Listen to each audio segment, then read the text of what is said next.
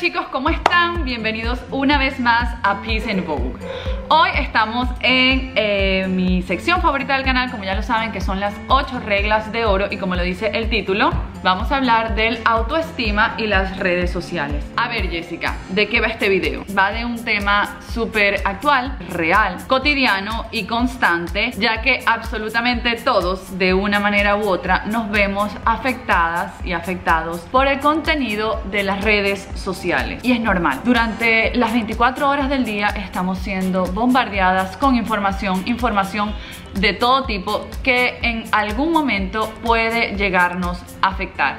Esto es un llamado de atención para que reconozcas estos factores y trates en la medida de lo posible de no permitir que te afecten o que determinen tus aspiraciones de vida. Son ocho factores que tienes que reconocer y analizar a profundidad de qué está sucediendo en el mundo de las redes sociales. Número uno, las influ models. Y como lo dice su título, influ models son unas chicas que se están volviendo súper populares en las redes sociales que consiguen millones y millones de followers y que tienen unos cuerpos que parecen sacados de yo no sé qué historieta de la Mujer Maravilla. ¿Qué pasa? Siempre ha sido un detonante en el autoestima o en las adolescentes el tema de las supermodelos, los estereotipos de belleza que son súper difíciles de alcanzar. Pero ¿qué pasaba? Estaban en la revista. Cuando tú abrías una revista de moda o de farándula y te conseguías con estas chicas espectaculares en la campaña, tú decías, porque yo no puedo verme así. Y créanme chicas, la vida de una modelo, se lo digo por experiencia, no es tan glamorosa como ustedes la piensan y es un trabajo súper difícil y súper demandante. Pero nosotros creemos lo que vemos en la revista, entonces tú abrías tu revista y te encontrabas con esta chica y en ese momento tú decías eso que ya dijimos. ¿Qué pasa? Hoy en día ese efecto que teníamos al abrir la revista y conseguirnos con esta mujer salida de otro mundo, que por cierto está bien photoshopeada, la teníamos en ese momento. Hoy en día es esto es el scroll cuando me despierto, es el scroll de las redes sociales cuando estoy desayunando, son los 5 minutos que tengo libre en el trabajo, es después de almuerzo, es vamos a ver qué subió ahora, es antes de, después de cenar, todos los días y ves esta chica y es, por eso es que yo nunca me voy a ver así, por eso es que yo nunca voy a tener este cuerpo, cómo es posible que hoy no fui a entrenar, y antes de irte a dormir vas y repasas lo mismo, entonces tienes ese ataque de información todo el tiempo que te está afectando. Es divina la chica, es divina la chica, se merece sus millones de followers, probablemente sí se los merece, pero tienes que entender que ese es su trabajo y ella se dedica a eso. Y no porque tú veas ahí una chica perfecta quiere decir que ella sea perfectamente feliz o esté perfectamente satisfecha con lo que tú estás viendo. Y probablemente, chicas, esas personas se hacen de algunos filtritos y ayudas estilo Photoshop para sus imágenes. De eso hablaremos más adelante, pero es una realidad. Y hay que tener cuidado con esas chicas, porque ellas se ven perfectas perfectas, pero que se vean perfectas no quiere decir que lo sean.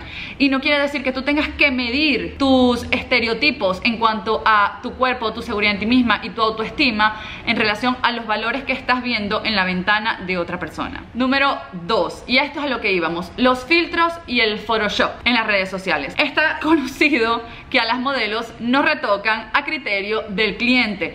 Puede ser que yo tengo los ojos verdes y yo pegué una campaña de unas gafas y el cliente me quería de ojos azules o de ojos marrones y chicas los editores de imagen simplemente te cambian eso en un 2x3. Es así, era así y seguirá siendo así. Te pasaste de kilito y eres una super celebridad, te van a dar el cover de una revista, no te van a sacar con una panza y probablemente te vayan a reducir. ¿Y qué pasa? Eso es lo que tú consumes y eso es lo que tú te crees. Pasaba en el mundo de la moda Sí, pero esto que estamos hablando de las 24 horas de la información que tú escoges que haga parte de tu día a día y de tu vida, también está invadida de estos recursos y herramientas. Como les dije, no creo que esté mal si las personas lo hacen comedidamente, porque todos tenemos imperfecciones que no pasa nada, pero siempre y cuando tú que estás en tu casa, en tu teléfono, sepas que eso es producto de algunas herramientas y truquitos de los que se valen los influencers. ¿Está bien? Eso es a criterio de cada persona. Pero es muy importante que lo sepas. No todo el mundo es tan perfecto como se ve en las redes sociales. No todas las vidas son tan utópicas como se ven en las redes sociales. Y sí, chicas, las fotos que ustedes miran están retocadas. Tú puedes ver una foto súper normal, le pones unos filtros brutales de VS Cam y parece de una editorial de Vogue Pasa, ves a una chica con un cuerpazo que parece, no sé, es que de verdad no sé ni cómo decirlo, y resulta que se quitó un poquito de cadera, se subió un poquito los pechos, se eh, alargó un poquito la cara, y ¿cómo lo hacen? Con una aplicación, así, segunditos, rapidito. Eso me lleva a mi tercer punto, que es el punto de las vidas perfectas. ¿Qué pasa? La seguimos y esto me pasa sobre todo con muchas bloggers. Yo soy fashion blogger, yo soy lifestyle blogger, me encanta proyectar y me pasa que yo misma sabiendo cómo funciona este negocio a veces digo, wow, qué vida tienen estas mujeres. Qué divino debe ser vivir así, qué espectacular. O sea, no tienen problemas, todos los días se ven impecables, nunca tienen el pelo sucio, viajan a todas partes, sus, mal, sus equipajes parecen eh, realizados por Pericles el mayordomo. O sea, son vidas perfectas, hasta sus cafés que se toman por la mañana son perfectos, sus medias son perfectas, su vida es perfecta y yo me lo creo. Y si yo me lo creo, probablemente tú te lo crees. Y no, chicas. En Instagram tú publicas lo que quieres que la gente vea de ti. Entonces, si tú estás trabajando con tus redes sociales y tú estás estás tratando de proyectar cierto estilo de vida en tu plataforma del 2.0, probablemente tu vida no sea tan perfecta como proyectas en las redes. Y a esto vamos porque es preocupante los estándares que se pueden formar en una persona y sentirse poco exitosa porque no viaja cinco veces por mes, porque se siente poco importante porque no tiene going to meetings eh, todos los días, porque no hace este, cosas súper espectaculares como ir a los desfiles de los mayores diseñadores del mundo y estar sentada en primera fila y se crean estandartes perfectos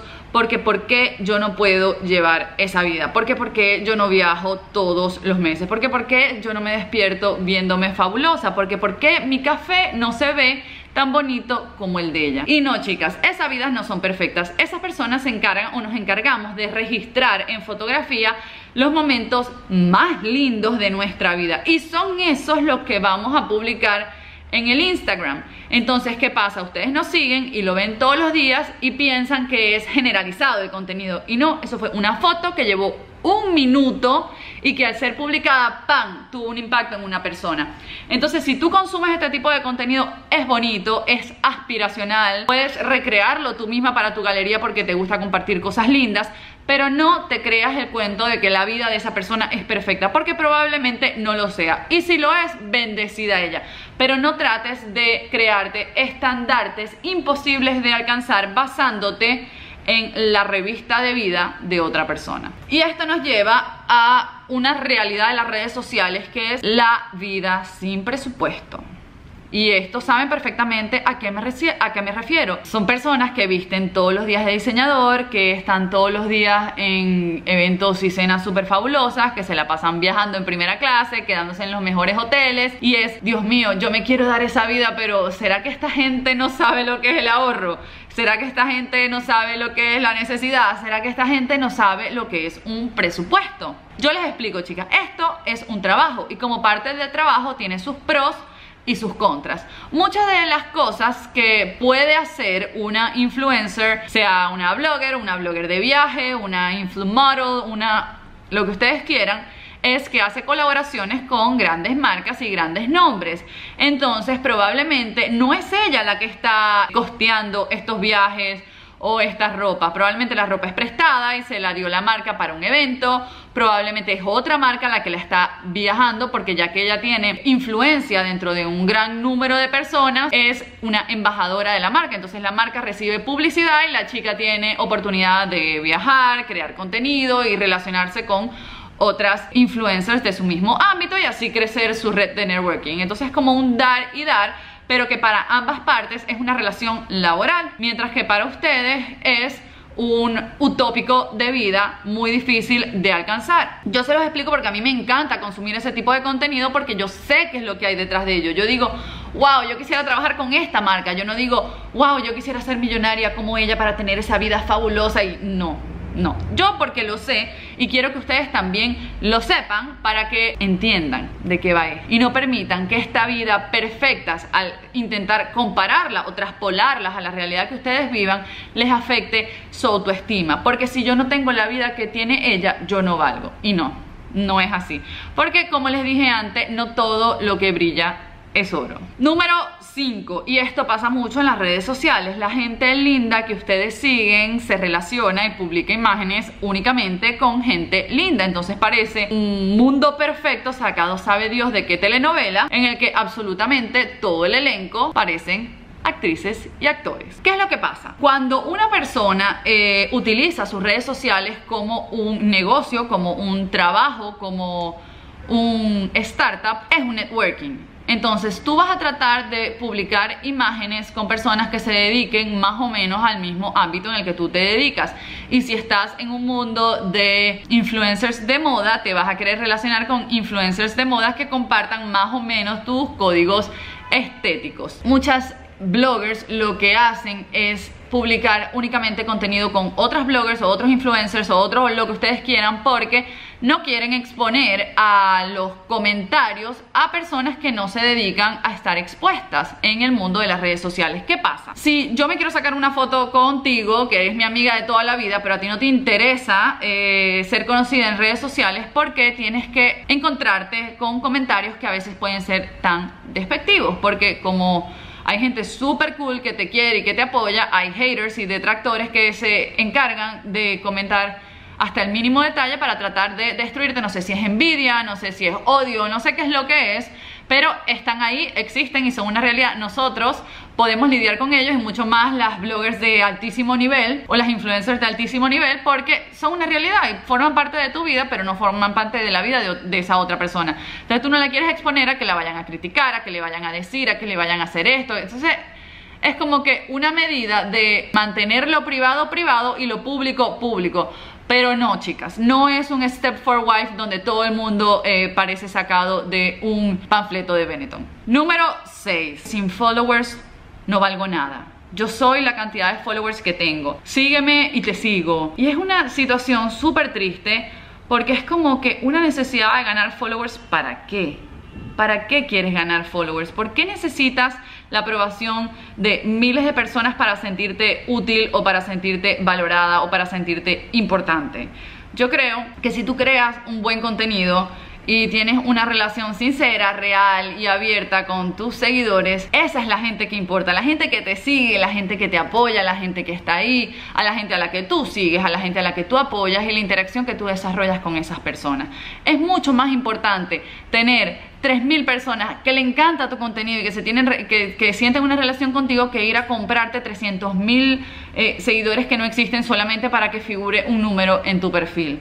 Es mi manera de pensar. Yo creo que lo importante es crear un contenido propio, crear un contenido sincero y que tus 25 amigos, así sea tu familia, que disfruta tu contenido, que le da like a las fotos, que comparten y tienen una interacción, es buenísimo. Y esa es la gente que te tiene que importar. No es un número abstracto que sube o baja a tu conveniencia. Es gente real que está ahí y que te apoya. Número 7. Las falsas expectativas. Y esto es como como una consecuencia de todo lo que hemos venido comentando, porque si tienen esta vida tan perfecta y todas son tan bonitas y todas sus amigas son bonitas y viajan a todas partes y sus fotos son perfectas y sus cuerpos son perfectos, ¿cómo puedo ser yo como ella? Y las tienes aquí idealizadas y se te van creando todas esas eh, expectativas y todas esas falsas necesidades, porque son falsas necesidades de ser como ellas, de llegar a ese nivel, de tener lo que ella tiene y empiezas a, a preocuparte, a estresarte, a deprimirte, a gastar más de lo que puedes, a gastar más de lo que puedes por intentar ser como, por parecerte a, por llegar a ser como. ¿Y vale la pena? No me parece. No, eso es súper triste, chicas, súper triste, porque esta es tu vida y este es tu momento. Y yo siempre les digo, este momento se te va a acabar. ¿Y qué vas a haber hecho tú con tu vida? ¿Qué vas a haber hecho tú con tu tiempo? ¿Qué vas a haber hecho tú con tus sueños? ¿Se los vas a dedicar a lo que ves y vive otra persona? No. No te crees faltas expectativas y no permitas que esas expectativas menosprecien lo que tú eres y lo que tú has logrado y lo que tú realmente quieres llegar a ser. Número 8, y esta es la última, pero creo que más importante de todas, no te compares. No te compares, no compares tu vida, tu día a día, tu realidad que tú conoces en tu soledad, en tu silencio, cuando eres sociable, cuando estás en tu casa. No compares tu realidad con el show de otra persona, con el trabajo de otra persona. Porque yo siempre les recuerdo, esa chica que ustedes siguen o ese chico que ustedes siguen está trabajando. Y lo que ustedes ven es producto de mucho esfuerzo y de mucho trabajo y que quizás detrás de esa sonrisa y quizás detrás de ese viaje y quizás detrás de toda esa ropa de diseñador haya mucho estrés, mucho sudor y muchas lágrimas. Vivan su vida, vívanla al máximo, ámense, enamórense de ustedes mismas y permítanse vivir sus sueños, porque tus sueños valen. Y bueno chicas, mi objetivo con este video es que en esta era del 2.0 de las redes sociales y del Instagram, no permitan que su autoestima dependa de ello. Lo que ustedes siguen, el contenido aspiracional que ustedes siguen es para que les robe una sonrisa, pero no para que les cause tristeza, dolor y frustración en su vida. Todo aquello que les haga mal, así sea yo y así sea quien sea, déjenlo de seguir por su paz mental y por su bienestar. No olviden mm, regalarme una manito arriba si es que les gustó el video y suscribirse a mi canal para que estemos siempre conectadas. Un besito y hasta la próxima. Chao, chao.